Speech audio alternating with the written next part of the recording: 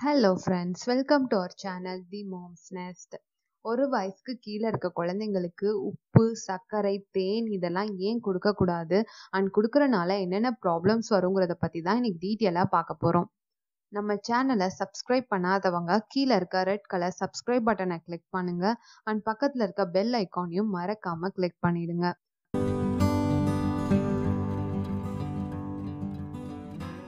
முதல் ஆறு மாதம் வரைக்கும் தாய்ப்பால் இல்லைனா ஃபார்முலா மில்க் மட்டுமே குடிச்சிட்டு இருந்த குழந்தைங்களுக்கு சாப்பாடோட டேஸ்ட் எப்படி இருக்கும்னு தெரியாது.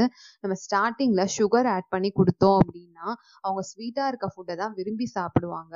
நம்ம நார்மலாக கொடுக்குற ஃபுட் மேலே இன்ட்ரெஸ்ட் காட்ட மாட்டாங்க. அண்ட் ரெண்டு வயசு மூணு வயசுக்கு மேலே பிஸ்கட் சாக்லேட் ஸ்வீட்ஸில் அதிகமாக ஆர்வம் காட்டுறதுக்கும் இதுதான் ரீசன் ஸோ இந்த ஸ்டேஜில் அவங்களுக்கு சுகர் கொடுக்காம இருந்தோம் அப்படின்னா அவங்களுக்கு ஸ்வீட் டேஸ்ட் மேலே பெருசாக இன்ட்ரெஸ்ட் இருக்காது. வேர்ல்ட் ஹெல்த் ஆர்கனைசேஷன் கைட்லைன்ஸில் நாம் சாப்பிட்ற சாப்பாட்டில் ஒரு நாளைக்கு ஃபைவ் பர்சன்டேஜ் சுகர் கண்டென்ட் இருந்தால் போதும்னு சொல்கிறாங்க இது குழந்தைங்க குடிக்கிற தாய்ப்பால் இல்லைனா ஃபார்முலா மில்க்லேயே கிடச்சிரும். ஸோ நம்ம எக்ஸ்ட்ரா ஃபுட்டில் சுகர் ஆட் பண்ணி கொடுக்க தேவையில்லை.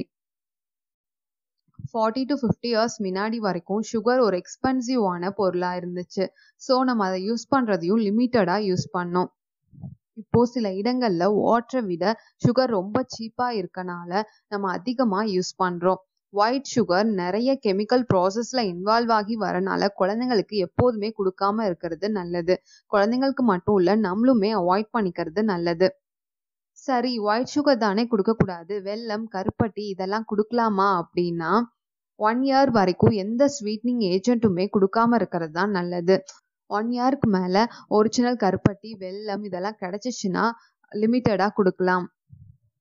அதிகமாக சுகர் சாப்பிட்றனால என்னென்ன ப்ராப்ளம்ஸ் வரும் அப்படின்னா child obesity tooth decay and சின்ன வயசுல டயபெட்டிஸ் வரதுக்கான சான்சஸ் எல்லாம் ரொம்பவே அதிகமாக இருக்குது அண்ட் அவங்க குழந்தைங்களோட இம்யூனிட்டி ரெடியூஸ் ஆகும்னு சொல்கிறாங்க ஒரு ரிசர்ச்சில் ஒரு குரூப் ஆஃப் பீப்புளுக்கு சுகரே இல்லாத டயட் ஃபாலோ பண்ணியிருக்காங்க அந்த டயட்டோட எண்டில் அவங்களோட மெமரி பவர் ரொம்பவே இன்க்ரீஸ் ஆயிருக்கதா சொல்லியிருக்காங்க ஸோ ஒன் இயர் வரைக்கும் குழந்தைங்களுக்கு சுகர் அண்ட் அதர் ஸ்வீட்னிங் ஏஜென்ட்டை அவாய்ட் பண்ணிக்கிறது நல்லது.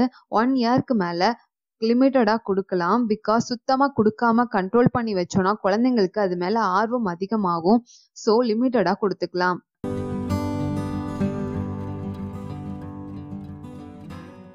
ஒரு வயசு வரைக்கும் குழந்தைங்களுக்கு உப்பு கொடுக்கக்கூடாதுன்னு சொன்ன உடனே வர ரிப்ளைஸ் உப்பு இல்லாமல் குழந்தைங்க எப்படி சாப்பிடுவாங்க? டேஸ்டே இல்லாத சப்புன்னு இருக்க சாப்பாடை எப்படி சாப்பிடுவாங்க? இந்த மாதிரி கொஷின்ஸ் தான் வரும். குழந்தைங்களுக்கு உப்பு இருக்கிற சாப்பாடு இல்லாத சாப்பாடுன்னு டிஃப்ரென்ஸ் தெரியாது. இந்த ஸ்டேஜில் குழந்தைங்க ஃபுட்டோட ஒரிஜினல் டேஸ்ட்டை என்ஜாய் பண்ணி சாப்பிட்டோம். அவங்களுக்கு தேவையான உப்பு அவங்க குடிக்கிற தாய்ப்பால் இல்லைன்னா ஃபார்முலா மில்க்லேயே கிடச்சிரும். ஆறு மாதத்துலேருந்து பன்னெண்டு மாதம் வரைக்கும் இருக்க குழந்தைங்களுக்கு ஒன் கிராம் ஆஃப் சால்ட் தேவைப்படுது. இதை சோடியம் அண்ட் குளோரைடு பிரித்தோம் அப்படின்னா zero point four gram of sodium அதாவது four hundred milligram of sodium தேவைப்படுது. இது அவங்க குடிக்கிற தாய்ப்பால் இல்லைனா ஃபார்முலா மில்க்லேயே கிடச்சிரும். அண்ட் ஃபுட்லேயே நேச்சுரலான சோடியம் கண்டென்ட் இருக்குது ஸோ இதெல்லாம் அவங்களோட தேவையை பூர்த்தி பண்ணிடும். சில பேர் கேட்பாங்க கொஞ்சமாக a pinch of salt add பண்ணலாமா? அப்படின்னு. எ பிஞ்ச் ஆஃப் சால்ட்டுங்கிறது அப்ராக்சிமேட்டாக two fifty milligram of salt அதில் ஹண்ட்ரட் மில்லிகிராம் ஆஃப் சோடியம் இருக்குது இது மாதிரி ஒரு நாளைக்கு மூணு வேலைக்கு கொடுத்தோம் அப்படின்னா three hundred milligram of sodium இதுலேயே கவர் ஆயிடுது. குழந்தைங்களுக்கு ஒரு நாள் தேவைப்படுற சோடியமில் செவன்டி ஃபைவ் பர்சன்டேஜ் இதுலேயே கவர் ஆகுது. ஸோ இந்த மாதிரி நம்ம எக்ஸஸாக சோடியம் கொடுக்குறனால குழந்தைங்களோட குட்டி கிட்னி ரொம்பவே கஷ்டப்படும் அந்த எக்ஸஸ் சோடியமை வெளியில் தள்ளுறதுக்கு. ரொம்ப கஷ்டப்பட்டு யூரின் போவாங்க.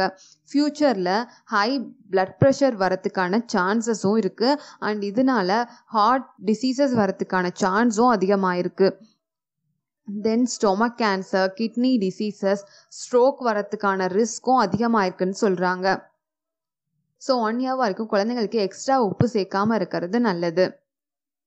ஒன் இயர்க்கு மேலே குழந்தைங்களுக்கு எவ்வளோ உப்பு தேவைப்படுதுங்கிறத பற்றி பார்ப்போம். ஒரு வயசுலேருந்து மூணு வயசு வரைக்கும் இருக்க குழந்தைங்களுக்கு டூ கிராம் ஆஃப் சால்ட் அதாவது zero point eight gram of sodium தேவைப்படுது.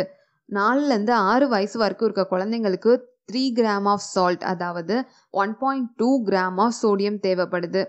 ஏழு வயசுலேருந்து பத்து வயசு வரைக்கும் இருக்க குழந்தைங்களுக்கு ஃபைவ் கிராம் ஆஃப் சால்ட் அதாவது டூ கிராம் ஆஃப் சோடியம் தேவைப்படுது. பதினோரு வயசுக்கு மேலே இருக்க எல்லாருக்கும் சிக்ஸ் கிராம் ஆஃப் சால்ட் அதாவது two point four gram of sodium தேவைப்படுது. நம்ம இந்த ரீசனுக்காக தான் குழந்தைங்களுக்கு பேக்டு ஃபுட் ப்ராசஸ் ஃபுல்லாக அவாய்ட் பண்ணணும்னு சொல்கிறோம் அதில் ஆடட் சுகர் அண்ட் சால்ட் இருக்கும்.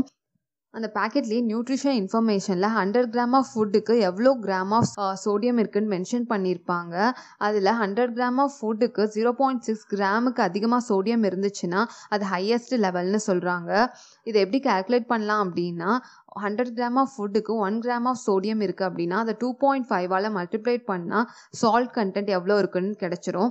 ஸோ குழந்தைங்களுக்கு அவங்களுக்கு தேவையான உப்புக்கு அதிகமாக அதில் உப்பு இருந்துச்சுன்னா அந்த ஃபுட்டை அவாய்ட் பண்ணிக்கிறது நல்லது.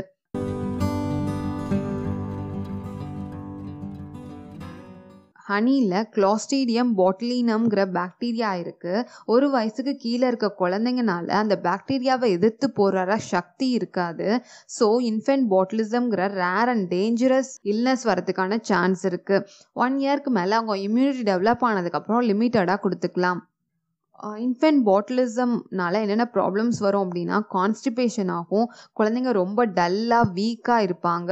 ரொம்ப அல அழமாட்டாங்க சிரிக்க மாட்டாங்க. பேரலைசஸ் வரதுக்கான சான்சஸும் இருக்குது அண்ட் லாஸ்ட்டில் ஹாஸ்பிட்டலில் போய் ட்ரீட்மெண்ட் எடுக்கிற அளவுக்கு சீரியஸ் கண்டிஷன் வரதுக்கான சான்சஸும் இருக்குது நம்ம ட்ரெடிஷனில் பிறந்த குழந்தையிலேருந்தே ஹனி கொடுக்குற பழக்கம் இருக்குது பிறந்த உடனே ஹனி வாட்டர் கொடுப்பாங்க. அண்ட் பேர் வைக்கிற ஃபங்க்ஷன் அப்போ ஹனி கொடுப்பாங்க. அண்ட் ஹனி கொடுத்தா சீக்கிரம் பேச்சு வரும்னு சொல்லுவாங்க. இந்த மித்லாம் ஃபாலோ பண்ணாமல் ஒன் இயர் வரைக்கும் குழந்தைங்களுக்கு ஹனி அவாய்ட் பண்ணிக்கிறது நல்லது. இன்ஃபென்ட் பாட்டிலிசம்ங்கிறது ஹனியில் மட்டும் இல்லை அது ஒரு ஏர்போன் டிசீஸ் ஸோ குழந்தைங்களுக்கு கொடுக்குற சாப்பாடை நல்லா குக் பண்ணி கொடுங்க.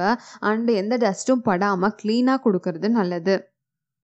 இந்த வீடியோ உங்களுக்கு ரொம்பவே யூஸ்ஃபுல்லாக இருந்திருக்கும்னு நினைக்கிறேன். கண்டிப்பாக லைக் பண்ணுங்கள் அண்ட் உங்கள் ஃப்ரெண்ட்ஸ்க்கெலாம் ஷேர் பண்ணுங்கள் ஏதாவது டவுட்ஸ் இருந்தால் கமெண்ட் பண்ணுங்கள் நான் கண்டிப்பாக ரிப்ளை பண்ணுறேன் தேங்க்ஸ் ஃபார் வாட்சிங்